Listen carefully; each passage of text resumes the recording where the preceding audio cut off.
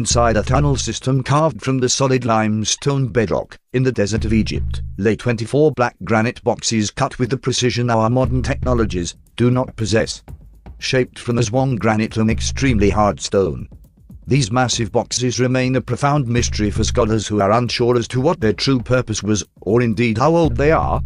Numerous well-known figures have concluded the hieroglyphics written upon them is of such poor quality it is regarded as graffiti. Many people believe Egyptian kings claimed precision-made ruins as their own. This is one of the main hypotheses put forward for the Egyptians' lack of any records of the pyramids' construction, often decorating them in a more primitive form of writing style. The suspected sarcophagi range in weight between 50 and 100 tons. Their real purpose or maybe indeed their function remains unclear, although they were clearly of importance. They were cut with such precision in fact they would have remained airtight for eons.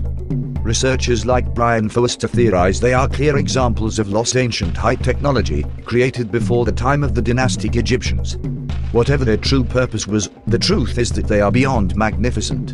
Well-regarded studies, for example, into the erosion evident on the Sphinxes of Giza, have proven to indicate they may be far older than the Egyptian civilizations.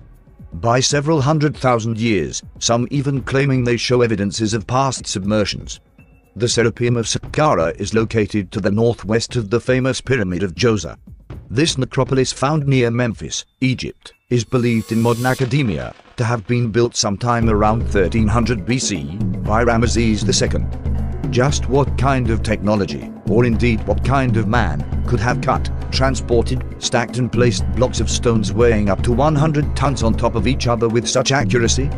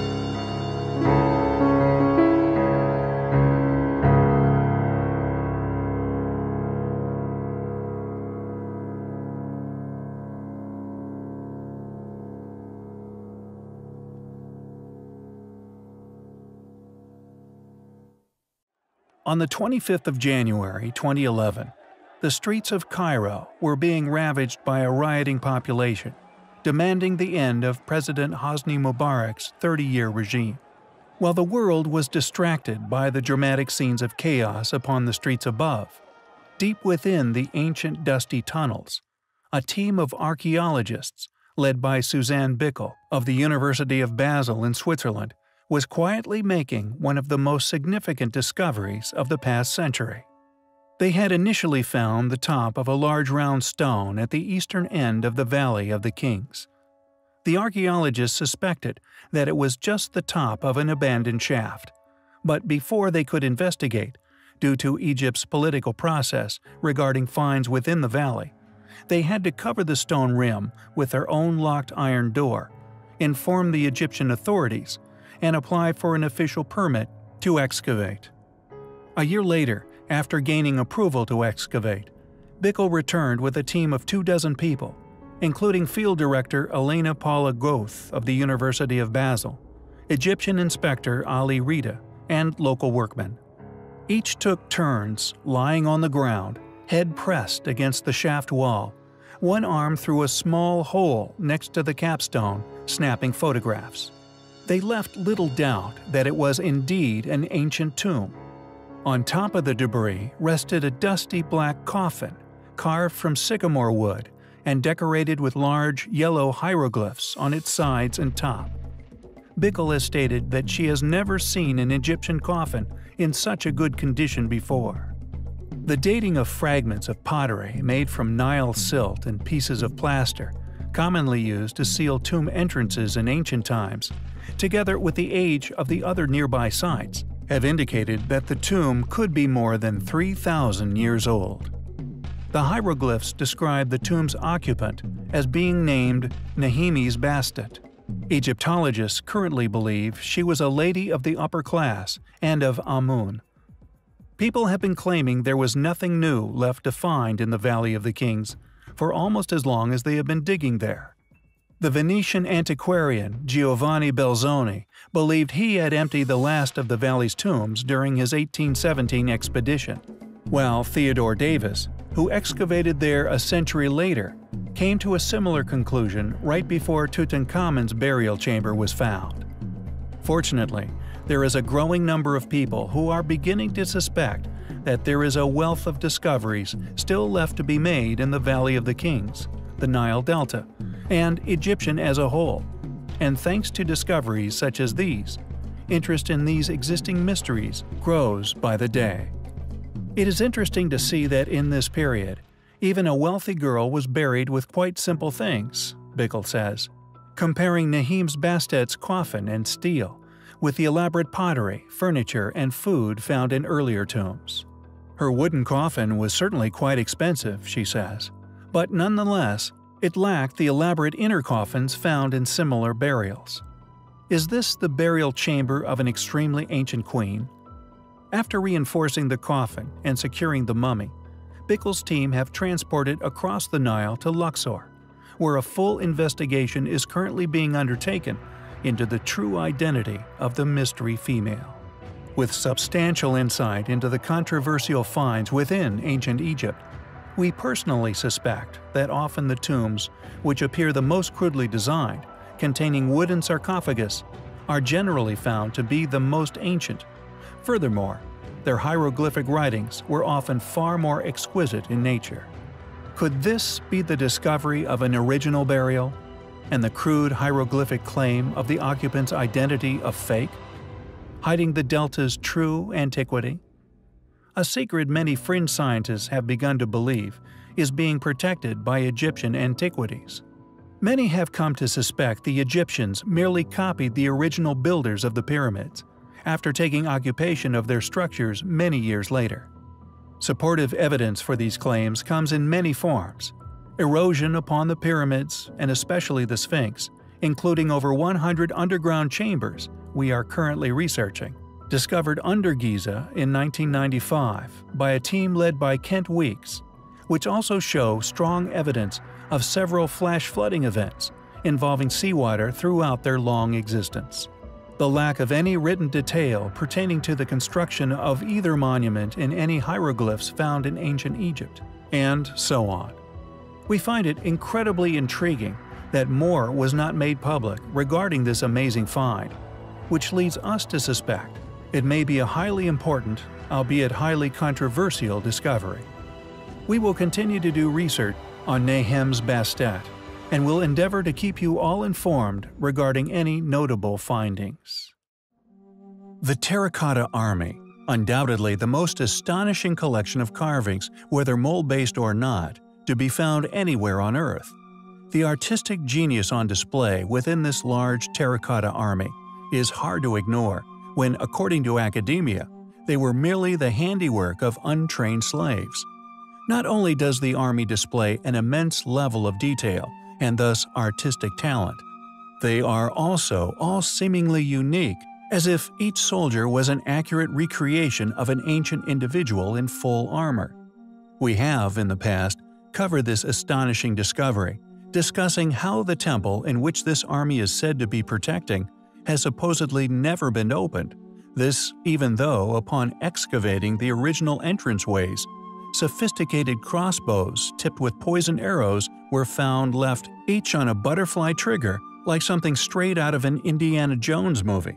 Whatever these elaborate defenses were protecting has, according to Chinese authorities, never been explored. What's more, this same notoriously secret government have also made any future digs illegal, quashing all hopes for anyone who would like to know about this clearly intriguing section of history. However, these incredible features, along with the soldiers' average giant sizes, were not the only area of study we have explored regarding the Army. In our first video regarding the amazing sight, we explored the highly mysterious monoatomic pigment that was found on many of the statues, popularly known as Han purple.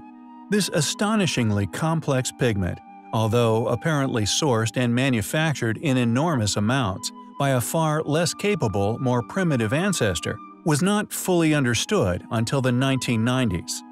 A pigment that, according to scientists who have studied it, exhibits characteristics of, quote, an element of a lower dimension, end quote, and as such, according to mainstream paradigm, is an incredibly difficult artifact to explain. Yet, Han purple is not the only incredible, highly enigmatic pigment dating from a now lost antiquity. There also exists another, no less impressive pigment which is highly likely to have originated within the now lost civilization we like to call the Pyramid Builders. Known as Egyptian blue, this marvelous pigment was found during an investigation by the British Museum. The Parthenon marbles, also known as the Elgin marbles, are a collection of classic Greek marble statues, whose history, although heavily documented, display upon their surface not only evidence of an advanced ancient knowledge, most probably a leftover, still in circulation within top masons and sculptors around the time of the statue's creation. But this pigment, found during an in-depth investigation of the marbles, to discover whether they were once painted or not, was found in varying quantities upon their varying features, not only subsequently proving beyond doubt that the statues were indeed once painted, but like that of Han Purple within China, Egyptian blue also has a highly curious characteristic discovered by modern technology. It is not only the sole surviving pigment on the statues, but is only visible within the infrared spectrum, a band invisible to the human eye. Made under the supervision of the architect and sculptor, Phidias and his assistants. The origin of the pigment, however, just like that of Han purple, is unknown. Where did the knowledge for creating this pigment come from? Why is it now lost? Why does it emit colors invisible to the modern man's eye? We find not only Egyptian blue's infrared characteristics, but also Han Purple's intriguing dimensionally deficient resonance as highly compelling. The ancient ruins of Egypt, regardless of their astonishing characteristics, or the often enormous megalithic building blocks used in the site's construction, are still claimed by an academia with no explanation as to how, as the work of our well-studied yet far more recent ancestors, the Egyptians. It is one of the most crucial ancient locations when it comes to exposing the conspiratorial nature of academia, a denial of the obvious by those who were faithfully tasked with explaining the origins of said sites or indeed how said sites were created. Any of these long-awaited answers, however, remain elusive. For in reality, no one knows who built the ancient pyramids of Giza, how they did it, when they did it, or indeed why. We simply cannot explain how these feats of engineering and architecture were accomplished.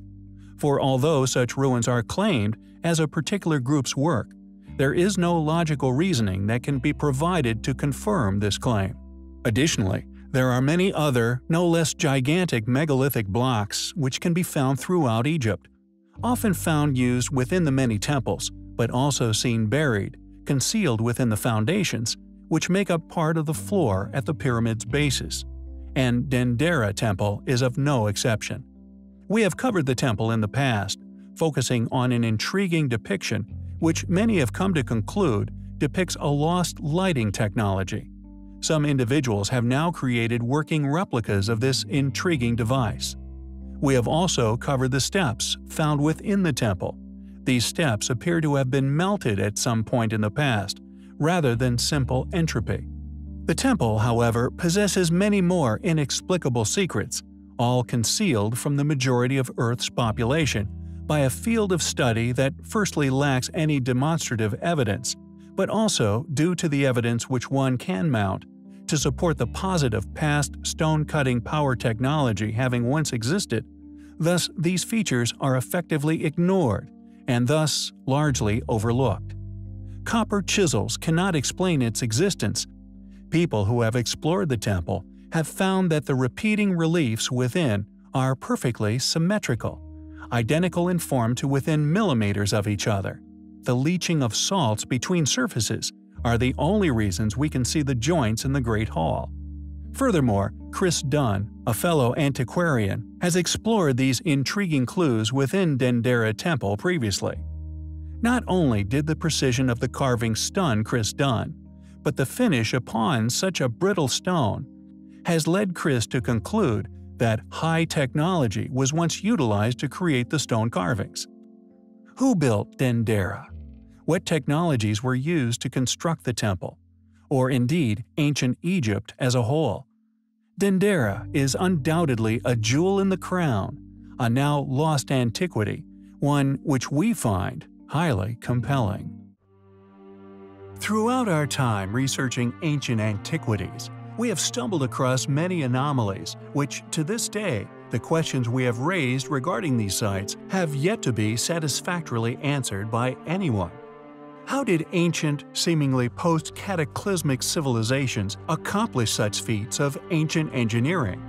Not only are there countless ancient structures found on nearly every continent on Earth that are beyond modern capabilities, but the way in which they were liberated from the quarries and bedrock in which they were sourced, often many miles away, remains a burning question. Furthermore, the clues to these now lost techniques the knowledge and indeed tools used to create these monstrous megaliths. The fingerprints of these now long forgotten activities still remain all over the hard granites once selected and used. No matter the geographical separation many of these sites share, it seems was not an issue, and they not only match, but as we have previously postulated based on said data, would appear to have been created with not only the same tools and techniques, but by a civilization whose tentacles far outstretch modern paradigms in regards to a single super-civilization having once been responsible for these extraordinary acts of ancient engineering. How can we continue to believe such sites were the work of academically shared, subsequently studied in depth, and thus proven civilizations which we now know to have been incapable of such feats. The unfinished obelisk of Aswan, the megaliths of Yangshan Quarry, the polygonal, astonishing feats of the mountaintop temples of Peru, and so on. All share the same scars upon the weather-resistant rocks used in said structures. India, China, Peru, Egypt, and so on. Yet interestingly, different stone cutting techniques are found upon different locations, yet seemingly coalesce within Aswan Quarry and other structures such as the Great Pyramids within Egypt. Diagonally cut stones, such as those within Baalbek and much further afield, are present within this quarry within Egypt. However, what makes the location of these massive pyramids special is that from the data, the evidence we have gathered, the structures were either built before said civilizations arrived and subsequently flourished upon our planet, but that these enormous structures were shared, possibly even an intercontinentally shared accomplishment achieved by not one, but many ancient super-civilizations, which, it would appear, were even more capable than that of modern man. These butter-cut stones, such as the techniques seemingly used upon the abandoned obelisk of Aswan, are shared with many other sites, protuberances found within Peru and many other polygonal sites are also present upon the pyramids, yet are seemingly much later additions. However, they are not only present on ruins around the world also, but the tool marks we have used to separate these sites are present within Egypt in abundance. The only other place we have witnessed such shared anomalies is Bazda Caves in Turkey, used by us to not only identify these techniques, but to pinpoint which lost civilization were where, and thanks to the pyramids, it would seem when. They not only share these marks, which are present all over structures across the world, but are only utilized in their fullest upon these two sites, so far discovered, only shared at these particular sites and nowhere else found so far.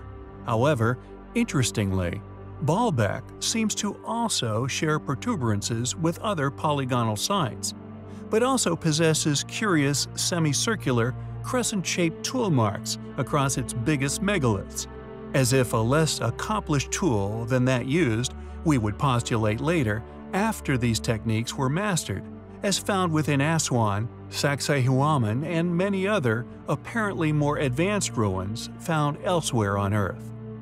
Who were these ancient people? How did they accomplish such astonishing feats of ancient engineering? We not only find the pursuit of answers to such questions incredibly important to the development of our knowledge in regard to our origins, but is a quest we will always find highly compelling. There are many ancient mysteries still to be unraveled within ancient Egypt and although they are rarely academically shared, the basalt floor found upon the Giza Plateau, being one such feature, located at the base of the Great Pyramids, possess some of the most compelling fragments of ancient advanced machinery anywhere on Earth, let alone Egypt. Additionally, there does indeed exist other areas upon the Giza Plateau that also exhibit these unquestionably compelling fingerprints left by an as yet not understood ancient advanced technology. One such place, known as Abu Ghorab, is a place that many alternative researchers assert could have once been some sort of ancient stargate. Originally built as a sun temple, constructed to represent the ritually vivifying power of the sun god Ra, it was one of six temples built upon the site. However, only two have been identified. Userkaf, and that of Nyuserre. At the base of the site, at the western end, an enormous obelisk has also been unearthed, which, according to experts, symbolized the resting place of the sun god Ra. The obelisk's base is a pedestal, with sloping sides and a square top. It is approximately 20 meters high and is constructed of red granite and limestone. Estimates of the combined height of the obelisk and base vary, although a number of independent researchers believe, when the structure was built, the total height of the obelisk was most likely somewhere between 50 and 70 meters in height, an enormous height and indeed weight for any of the currently attested ancient Egyptian builders to have worked with. But what we find the most intriguing regarding this obelisk, and indeed ancient site, linking back to the advanced anomalies located upon the basalt floor, is the enigmatic drill holes found driven straight through the heart of this monolith, and many of the other large granite stones which still litter the site. The holes undoubtedly completed using some form of high rotation power tool. Clear, compelling evidence that whoever created this ancient work had access to astonishingly advanced technologies. Additionally, the site is also home to a number of enormous red granite blocks, each weighing in at several tons. Curiously, these massive blocks also exhibit the same uncanny precision cuts and extremely well-polished surfaces which are also found throughout ancient Egypt and the quarries thereof. All once mounted into position with such incredible precision. Many investigators have concluded after visiting the site just like the conclusions one is left with after exploring ancient Baalbek, that whoever laid these massive stones into position had an extraordinary technological prowess.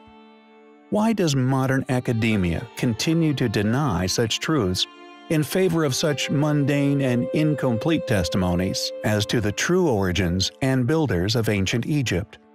How can we continue to be expected to believe, in the face of such compelling, overwhelming evidences, that these sites were merely the work of our more modern copper wielding ancestors? It is undoubtedly highly compelling. We have in the past covered a vast array of evidence which suggests the past existence of giants. Yet, alas, much of what is or has now either unfortunately been suppressed, destroyed, stolen, or forgotten about, with the remains of their initial discoveries now often only to be found remaining, proverbially, cast in stone in the form of the library archives of the world and the news reports now digitally preserved within. Often follow-up reports abruptly ceased after the mention of the rapid arrival and insatiable interest of the Smithsonian, among others in said finds. However, now, thanks to the popularity of such subjects, the power and speed of modern technology, such finds made during excavations involving a large array of individuals make modern cover-ups difficult and are rarely accomplished. With the only modern, almost openly admitted one of note, having followed the discovery of the supposed tomb of Osiris, when all media was immediately banned from the site. When permitted back, the tomb had already been penetrated and was subsequently claimed as having been found empty, supposedly previously looted, this regardless of its near impenetrability, with Gantenbrink only making it successful with modern robotics. But I digress. Working in cooperation, a team involving the Egypt's Supreme Council of Antiquities, a team from the Penn Museum, University of Pennsylvania, among others, discovered a sarcophagus academically claimed as having belonged to a, quote, King Sobekhotep, probably Sobekhotep the first dated 1780 BC during the 13th dynasty. What we find astonishing regarding the find, however, is its sheer size. Carved from a single quarried piece of Aswan granite, initially weighing hundreds of tons, this finished tomb still weighs a minimum of 60 tons. It was somehow transported to the burial site and placed seemingly with delicacy where it now lay. Its resting place, inner chamber, also some 3 meters in length. The baffling enigmas of why such size? How were they moved? To explain how these feats were accomplished is far less difficult challenge if one incorporates into their postulations the possibility that the size of these tombs were in fact made to measure, indeed a match, to the height and scale of the civilization who buried them. Could the inclusion of ancient giants into the many other theories surrounding the mysteries of Giza solve the puzzle we still can't solve of how these stones were moved? It is a hypothesis which we find very fitting. We most recently covered the remarkable discovery, fortunately made in the presence of numerous parties, from a number of international research panels, including media personnel, Fortunate for reasons we previously covered in our last video regarding the difficulty when such an event occurs in such a situation to suppress it in the modern age, and the subsequent unusual characteristics of said discovery. A discovery the world has been fortunate to witness, further cementing mounting evidence for the past existence of an ancient giant civilization. With this next discovery, although completely different in characteristics, we feel its scale alone, with other intriguing features, makes it as equally perplexing. An apparent polar opposite approach in some areas, such as methodology and symbology, even including stone selected. Yet another enigmatic mystery currently sprouting up all over the Giza Plateau. What we found initially interesting was just like the other enormous tomb we have covered prior, its sheer size, estimated at nearly 9 feet tall and 3.5 feet wide just on the insides. Amazingly, it also initially appeared and was initially presumed to have still somehow been a mysteriously hermetically sealed tomb. This is where the open presses line runs out unfortunately, for although it would seem the sarcophagus has indeed been opened, it has been done privately by the Smithsonian Institute. The details of what was found inside, what sort of remains, and indeed their claimed identity, continue to be a closely guarded secret and a subject of hot debate, with the Smithsonian merely stating further examinations on the body found inside are being conducted. According to the head of Egypt's Supreme Council of Antiquities, quote, there has been a remarkable find in the coastal city of Alexandria. During a routine excavation, experts uncovered a baffling Ptolemaic stone sarcophagus. It has been hailed as a major find, as it can provide insights into the great Hellenistic period in Egypt and its unique culture. End quote. Regardless of academic historians and certain institutions instantly pushing the notion that they know all about this incredible find and also what exactly could have been found within that black sarcophagus, we find the ordeal highly compelling. One of the oldest, most widely recognized gods through ancient Mesoamerica is a being known as Tlaloc. Worshipped as a giver of life and sustenance, he was also feared for his ability to send hail, thunder, and lightning, and for being the lord of the element water. Appearing in many forms throughout Aztec history, as usually water-dwelling creatures such as amphibians, could his roots actually date back to the so-called Great Deluge, which has been noted in so many ancient religions throughout the world? Undoubtedly, the most impressive depiction of Tlaloc, which can be found anywhere, is his megalithic statue, found in the small town of Coatlinchan. Clearly once a pilgrimage site, what's impressive regarding the statue is its size, weighing in at an estimated 168 tons, the largest existing monolith in the Americas. Made from basalt, the workable stone for this monumental artwork was, at some point, transported to this spot in preparation for carving. The question is, how did our ancient ancestors move such enormous lumps of basalt, similar in size to those of the Moai statues, synonymous with Easter Island? Why did this ancient people revere water gods so much? Were these gods inspired by traumatic memories and legends left to them by their ancestors? Possibly a surviving fragment of the once flourishing civilization responsible for so many now unexplainable sites all over the world. Intriguingly, according to Aztec belief, Tlaloc was a god primarily connected with meteorological phenomena that was related to water. In 1963, the National Museum of Anthropology in Mexico City decided that the monolith should be placed at the entrance of the museum. The people of Coatlinchan eventually agreed to this request on the condition that a government road, a school, and a medical center be built in their city. On the 16th of April 1964, the monolith began its journey to Mexico City. The monolith of Tlaloc was transported on the back of a giant purpose-built trailer over a distance of about 30 miles. When the monolith arrived in the capital, it was greeted by a crowd of 25,000 people. Upon its arrival, the location mysteriously experienced an unusual storm. Clearly, an incredible ancient artifact, which we find highly compelling. There are many ancient anomalies which can be found upon the Giza Plateau and indeed across much of ancient Egypt as a whole. Many areas which are clear evidence of a highly capable, highly intelligent past civilization who once called this landmass home.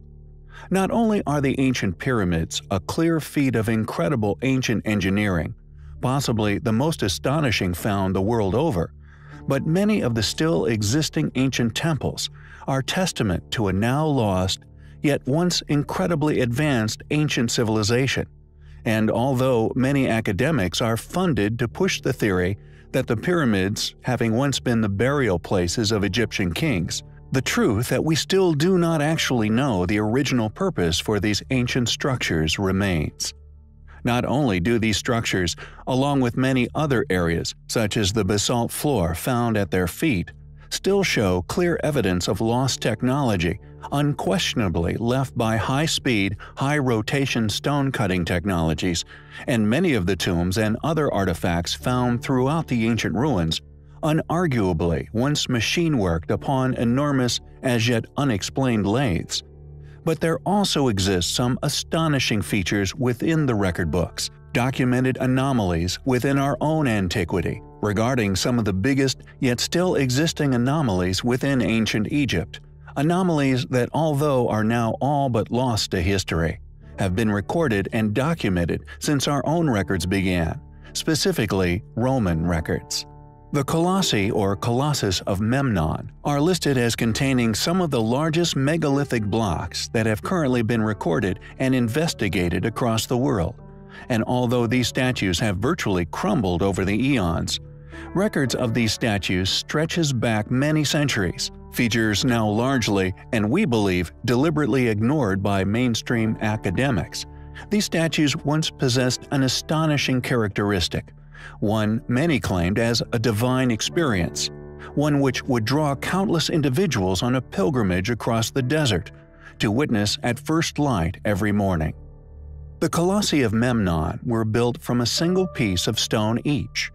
They are oriented towards the sunrise at winter solstice, and throughout modern study have had a number of fearless individuals expose their true past grandeur to the world. Estimates for the two statues' original weight are most commonly noted to have been around the 1,000 tons mark, with the most famous report within R.T. Gould's A Book of Marvels 1937, which contained an estimate of 1,200 tons.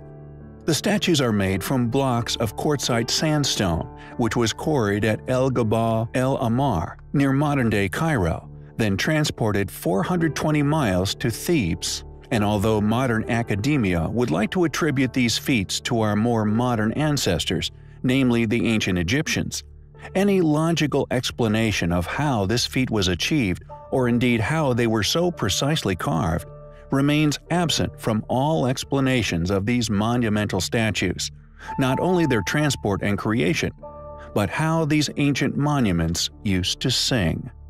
Early Greek and Roman tourists who came to hear the sound gave the statue the name of Memnon. Memnon was a hero of the Trojan War, a king of Ethiopia, who led his armies to Troy's defense, but was ultimately slain by Achilles. Memnon was said to be the son of Eos, the goddess of dawn, and after his death, his mother is said to have shed tears every morning. The singing of the statues was attributed to this mother mourning for her son. The earliest written reference to the singing statues comes from the Greek historian and geographer Strabo, who claimed to have heard their song during a visit in 20 BC. The 2nd century Greek traveler and geographer Pausanias compared it to the string of a lyre breaking. Others described it as the striking of brass or a strange, ghostly, almost divine whistling. For more than two centuries, the singing statues brought tourists from all over the empire, including several Roman emperors. Many left inscriptions on the base of the statue, reporting whether they had heard the sound or not. Nearly 90 inscriptions are still legible upon their base today. Who created these statues?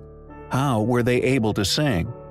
They are clearly an astonishing ancient accomplishment, once achieved by a now lost advanced civilization monuments which we find highly compelling. Homes, towns, religious structures, an entire living infrastructure of a once highly successful, highly capable people. Managing to expertly fuse their existence harmoniously with the surrounding environment, creating structures which left little, if any, impact on the surrounding landscape, structures still usable even to this day. Located within Abancay, a province in the region of Apurimac, Sayhuite has been conveniently dated to the period of the Incan Empire, between the 15th and 16th centuries AD. However, like many sites dotted around Peru, and indeed the world, an explanation as to how these cultures achieved such wonders with such primitive access to construction or tools is not forthcoming. Compared to other Incan sites, Sayhuite is also a complete ruin, leading the more observant, and indeed the free-thinking, self-funded geologist among us to suspect that it may actually be even older than the pre-Incas responsible for Machu Picchu. Yet the most noteworthy object at Sayhuite, and the reason for our video, is its monolith. A mysterious boulder drenched in intricate, purposely placed carvings. Interestingly, the word Sayhuite originated from the Quechua word Sayhueta, which translates as place of orientation. The site is located on the top of a terraced hill. Dedicated research has also revealed that the site was once home to an enclosed sanctuary.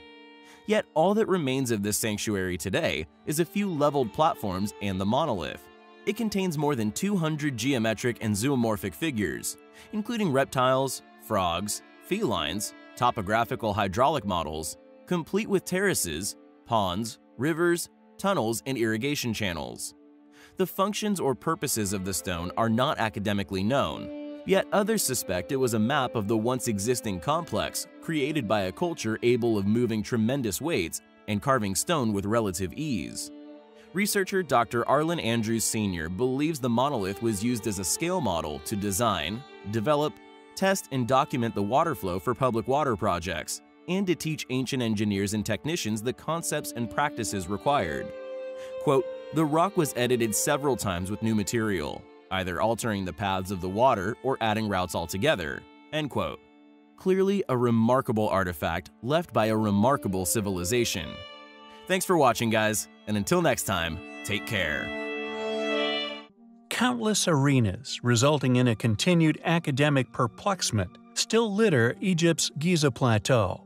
The pyramids, the Great Sphinx, the enormous megalithic blocks which made them, not to mention the mountain of ancient yet clearly incredibly precise, seemingly highly advanced tool marks which can still be found across the still surviving fragment of its basalt floor.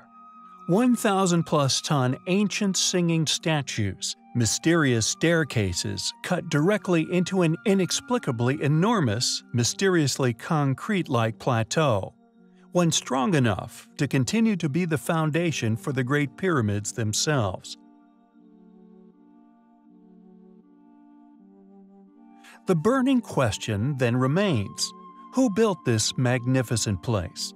And can it be proven that, along with these structures, not being the work of the currently claimed ancient Egyptians, but can be connected to countless other equally baffling ruins, a few even found in some of the most remote landmasses on Earth, proof, if there ever was, of a once highly advanced ocean-going, world-dominant, yet now lost civilization.